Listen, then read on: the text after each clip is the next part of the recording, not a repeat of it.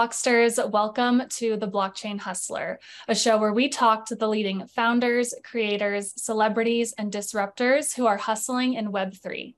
Today's guests are David Beiner and Jay Stolar, the co founders of Hume.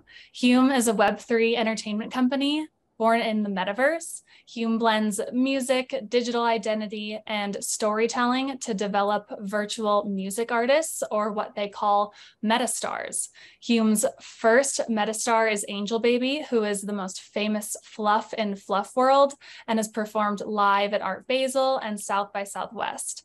Hume recently announced a Series A funding round of $11.7 million led by TCG Crypto, Winklevoss Capital, GMoney, Cooper Turley, and Aloe Blacc. David's background is in product strategy, having worked for major media companies including Comcast NBC and MGM and he ran a crypto advisory firm until 2019.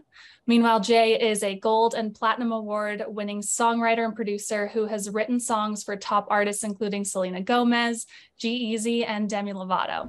David and Jay, thank you so much for joining us on the Blockchain Hustler today. Good to be here. Thanks for having me. Here. Wow, that was incredibly succinct information about who we are.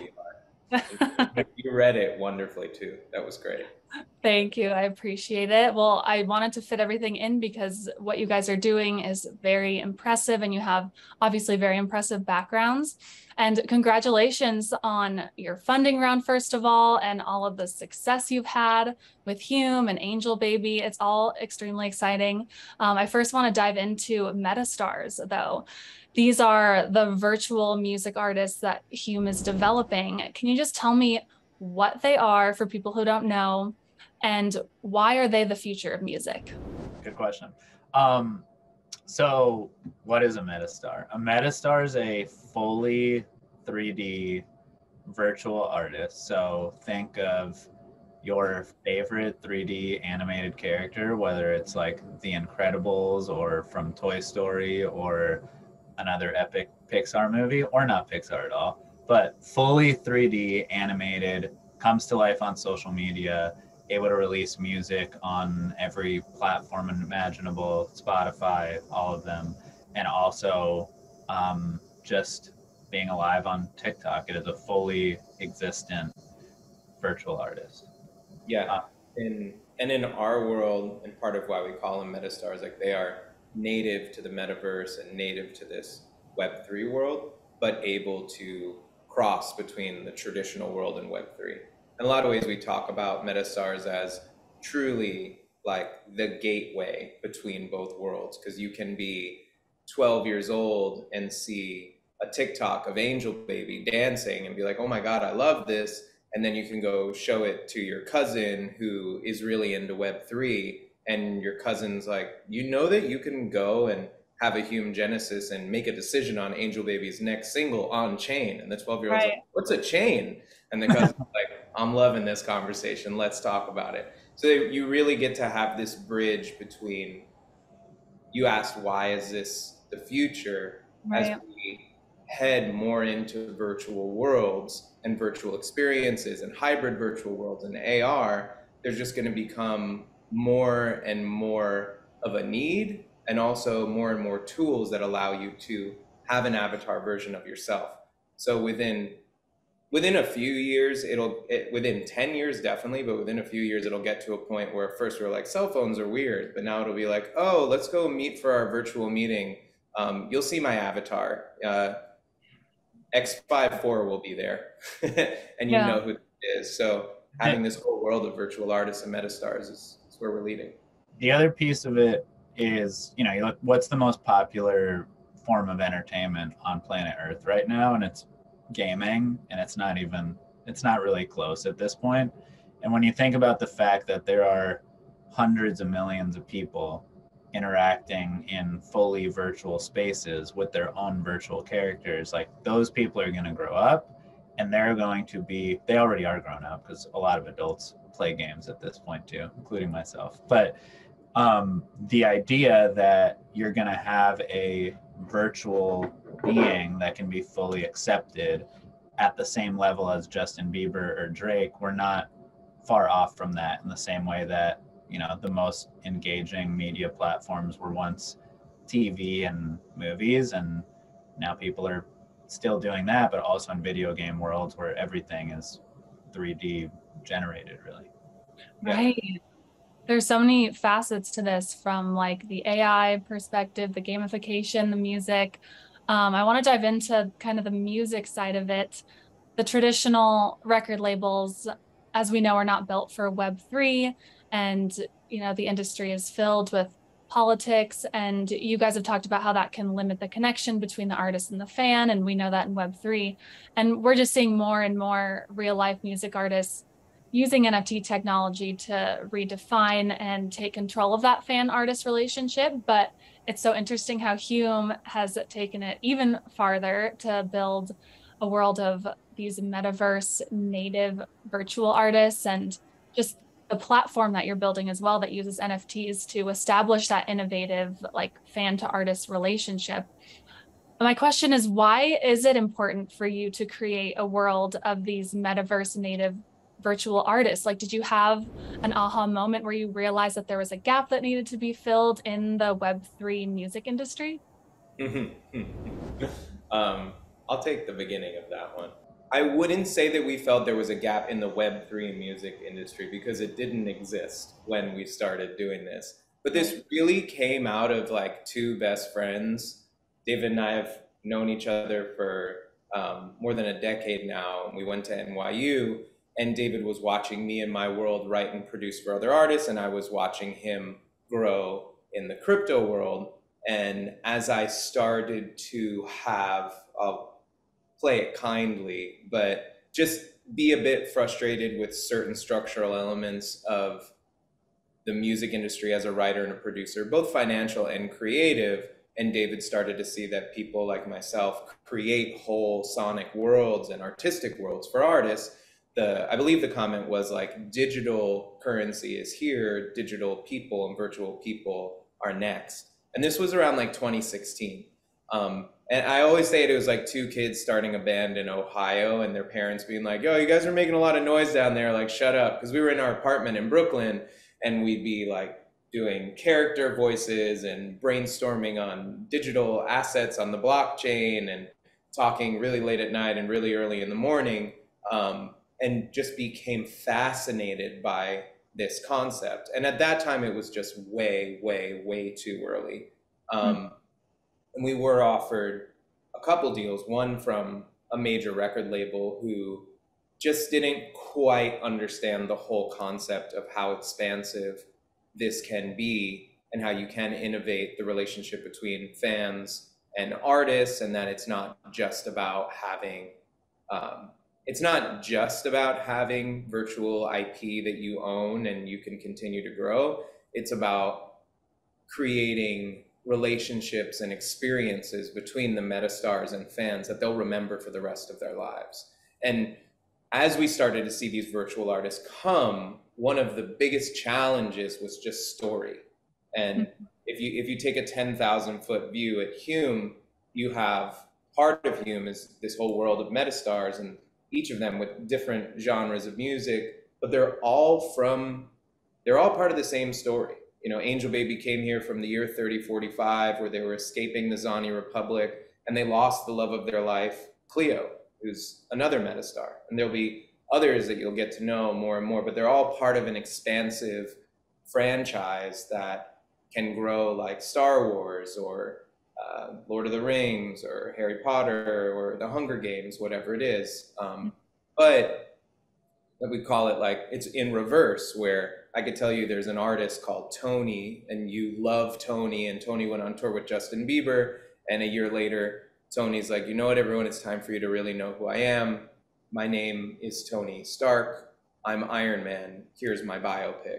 But you already love Tony for being an artist. So you get to have this whole world where you're living with the metastars and you're growing with them and you love them um, but then as a fan, and David, maybe you could talk more towards this, you have a platform where you can interact and engage in the experiences with the artists and with the metastars in ways that you've never been able to do before. Yeah, the, the part that was like once we got, you know, virtual artists, we knew that there was a place there. We knew that there would be a way for it to interact with Web3. But the like aha moment there was seeing like the way people were using NFTs. Like NFTs are media, NFTs should be fun. For us, it was like, how do we create NFTs that drive and unlock a fan experience? And for us, that was, you know, because we, because Angel Baby is a metastar, that provides and has this deep backstory, provides a way for NFTs to be something that let you get unreleased tracks and be able to like hear those tracks before everybody else. And in the case we just did this two weeks ago, vote on what the next single should be. And now as a fan, you're like part of this world. You're choosing what music's coming out. You know what the like unreleased track was that nobody else has ever heard, but you heard it because you were able to sign into the spot and listen to it through because you had the NFT that let you get there. That was the part where we were like, NFTs can be a lot more than what a lot of them were in 2020 and 21. Yeah. Well, David says this a lot. Like the word won't even be used. Right. So, you know, in the future, it's just going to be um, the way you're the way you're interacting. Mm-hmm. And just to mm-hmm. add it for Angel Baby's sake, who one day we'd love you to meet, um, mm-hmm. when this decision was made, you know, like David and I met Angel Baby when they came through the Cybergate from the year 3045. All these decisions were made on songs that Angel wrote coming out of the Cybergate. And in order to defeat the Zani Republic, we need to make decisions in the spot together. So, like, if you zoom out on what I just said, it's mm-hmm. not just about voting, it's not just about a mechanism, it's about an experience and being part of that story.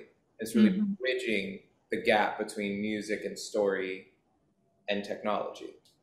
Right. Yeah, I want to dive so much more into the narrative behind Angel Baby and why that's so important. But before that, just thinking about Angel Baby as an AI, obviously there are always just countless music artists trying to get their music heard in real life and like build a fan base.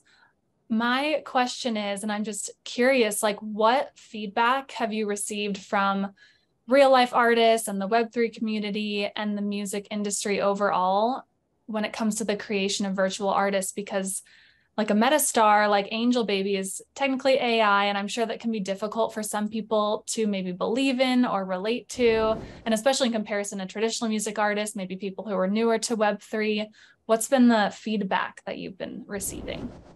So angel baby is virtual um, and they are like fully 3d and all of that gets created like that but angel baby is not an ai in the sense of like we're you know it, it, this music isn't AI generated. Angel Baby's movements aren't AI generated. Um, going back to like Jay's background as a songwriter, you know, Jay was writing music with tons of four tons of artists: Selena Gomez, G-Eazy, Demi Lovato, and part of it was like, well, what's the difference between teams of songwriters writing for those artists or teams of like those teams writing for Angel Baby or other virtual artists that we have. So in that sense, like Jay, maybe you can speak more to like how the industry has reacted to like writing or like working with uh, a team that creates these virtual artists. But uh, for us, like yeah, Angel, there's not we don't have like AI tech. Maybe in the future we'll build a AI fueled uh, Metastar, but mm-hmm. not, not yet. Okay. Yeah. So there's a team behind Angel Baby kind of controlling what they're doing. I wouldn't use the word controlling necessarily. I would think of it more as there's a group working together to develop and imagine the life of Angel Baby with Angel Baby together. It's okay. to keep it to keep the answer really simple, I think on the industry side is four years ago, everyone was very, very skeptical. And there was a lot of pushback. Um, mm-hmm. Six years ago, there was even more pushback. Two years ago, it started to open up. Mm-hmm. Now, everybody wants to talk about it. So it's, uh, I think people are starting to see that there is a ton of opportunity for creatives in this world. And there's also huge, huge opportunity to grow on the IP side, on the tech side, and just pure entertainment. Mm-hmm. Absolutely. Yeah, no, that makes sense. The conversation has definitely changed since 2016. Um, and people are very excited about it. And I'm excited to see what has to come for Angel Baby. Um, yeah, it's really exciting. And uh, on the kind of music industry side of things, Hume is becoming kind of a driving force in many ways, but in this next evolution of the music business, obviously you're taking a different approach from the traditional um, business because you are paying your songwriters upfront for their contributions. How is Hume using Web3 to ultimately shortcut the traditional music industry's limitations, would you say?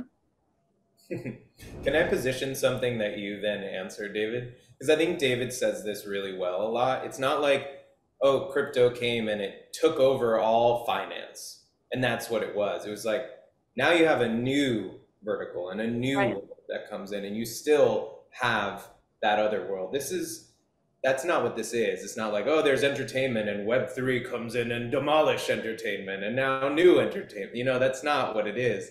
It's more that it's creating new opportunities and a new vertical. Um, and David, you could speak to that better than me, but.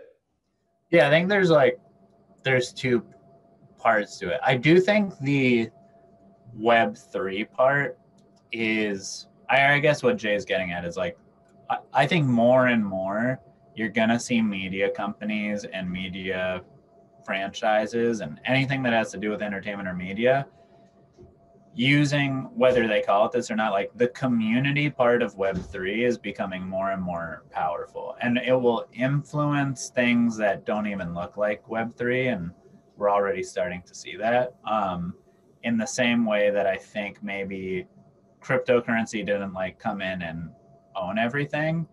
Um, and it's not like we're all using Bitcoin and Ether to transact at places now, but a lot more people own either of those now. Mm-hmm. And a lot more people than before think think about what it means to, you know, own a currency that is censorship resistant and that you truly own and can prove that you own in a digital way. So I think this is gonna, you know, now with NFTs and Web3, we've started to see the like entertainment version of this growing.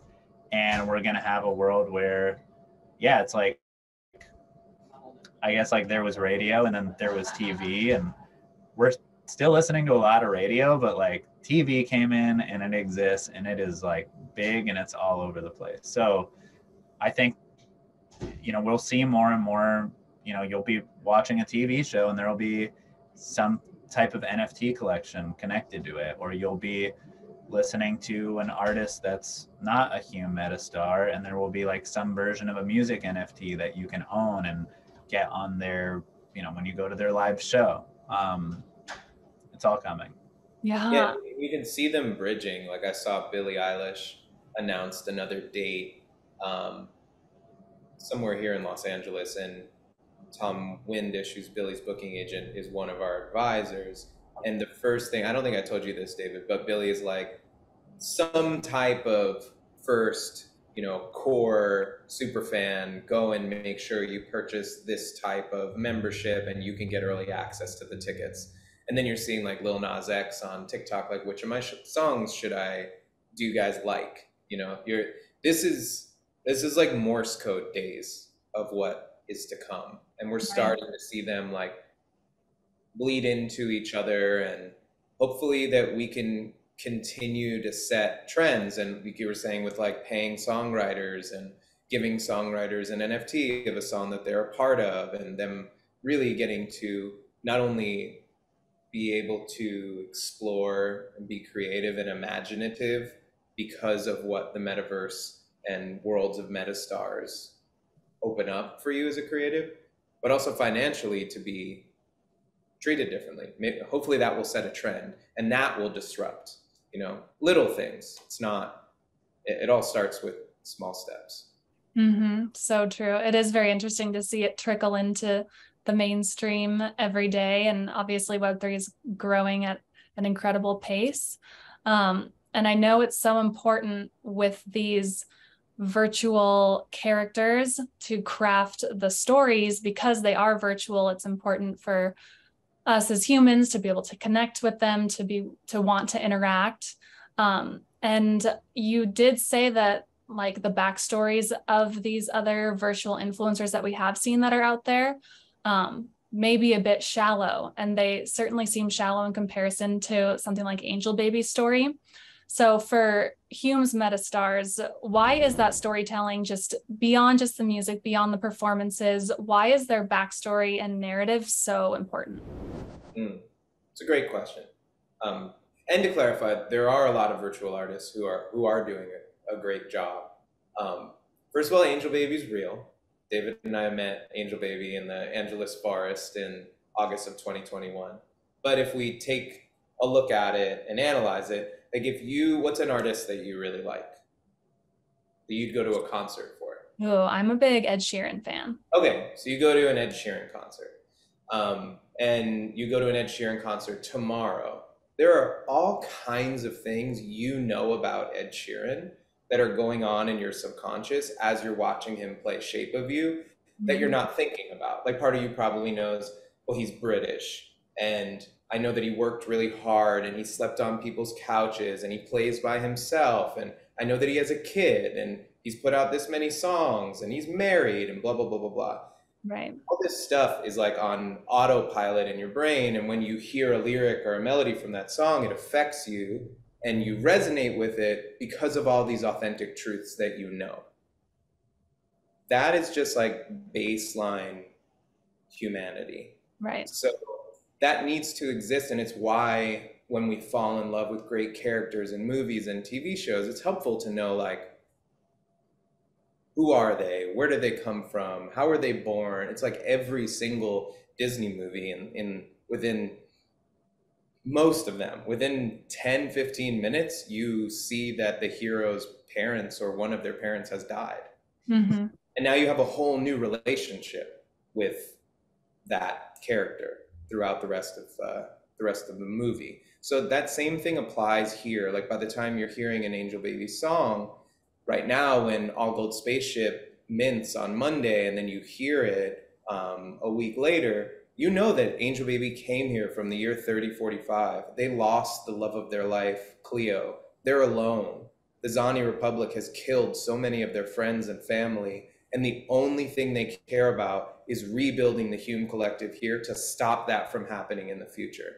That's why they're making music. That's why they're talking to you. That's why they care. And then you go and listen to the song. It's like it, a lot of times it can just be the tip of an iceberg floating. You need mm-hmm. to have the whole iceberg. Um, so, yeah, that's why stories arguably the most important part. Mm-hmm. Yeah, that's beautifully said. And I'd love to just hear both of your guys' predictions um, for the future of a virtual artist, future virtual influencers when it comes to entertaining us, inspiring us, guiding our purchasing decisions, working with brands. Like, what do you see coming up next? I don't know if this is what's coming up next, probably a few iterations until we get there. But I think whenever and whoever figure whether it's like the Apple headset or someone comes out with glasses or a contact lens, like whoever figures out the big AR unlock, I don't know if it's five years from now or 10 years from now, you're going to be sitting there and you're going to be like, you know, cooking dinner and having a glass of wine. And you're going to be like, you know, kind of wish Angel Baby was right here, like doing a full on show while I cooked. I'm kind of bored. I don't want to listen to a podcast. I don't really want to watch a show. Like, I mean, like, get my AR lens working, Angel Baby show. And now, like, Angel Baby's doing a full on show in your living room, like with lights, like, Angel Baby's rapping there. They've got cool clothes on, and you're just like, cooking dinner while Angel Baby's doing a full show right next to you. Um, that is not what's next, but that's what's, I really think that's coming at some point. Mm-hmm. And maybe if you have certain NFTs, you get to choose which songs. It unlocks certain songs from the show that you're allowed to like have now playing live in your living room. Yeah, that would be epic. Jay, what are your thoughts? The one that comes to mind is and what I'm really excited about is as animation tools become more and more simple to use in the way that like really what changed music was the fact that you no longer had to have like a six figure paywall in order to make a high end record. Like it was really, really hard to have a home studio in the 70s and 80s and 90s. You could, but very few people did. And then once all the digital audio workstations like Logic and Pro Tools and now Ableton, Studio One and blah blah blah all became so so easy to use you have producers like Finneas who like started producing music at whatever he was, eight or ten or twelve, or there's an artist called Melv who's done a bunch of really cool Web3 stuff. And I've worked with him. I think he started at 10. There's a kid named Miles on Instagram right now who started at five. And he's producing songs at five. And it's because the technology makes it so much easier for him to explore as an artist. It can just be right in front of his face and and he can grow. So once that starts happening with animation and tools to create an avatar of yourself, and you have artists who have been working with avatar animation tools and music tools since they're like five, six, seven, eight, nine, ten. Now they're 15, now they're 20. There is going to be a whole, there are going to be different types of virtual artists and types of metastars. And there'll be ones like we are uh, developing right now at Hume, and then there'll be a whole other generation that are using our platform at Hume and engaging with their fans and their audience. And I, I think it's it's been a long time since we've seen like a totally new type of artist. Mm-hmm. When the Beatles showed up on the Ed Sullivan show, it was new. When like Elvis showed up for the first time, it was new. When Skrillex showed up, that was new. Madonna showed up, that was new. Even Billie, Lil Nas X was new, but they're all like they're all human. um, once we see a new type of expression from a human, it's going to be really cool. There, there's a there's a whole new world coming. Mm-hmm. Absolutely. Can you tell me about the Hume Genesis NFT? Um, I want to hear a little bit about that. Like, what access does it give to holders, and how do they gain direct access into Angel Baby or a future virtual artist's music curation process? And how are you fully immersing holders into the artist's narrative? Yeah. So we launched the Hume Genesis in July, and there's three tiers. There's a legendary tier, which you can think of as like super VIP tier one, a tier called ultra rare, which is tier two, and then a rare, a tier called rare, which is the third tier. Um, our whole like motivation around NFTs was like create something that people are going to be excited about that unlocks a fan experience. So our NFT doesn't just like live in a silo. And so I mean it looks it looks amazing. Shout out to our creative director and 3D director Ethan and Mikey because it's beautiful.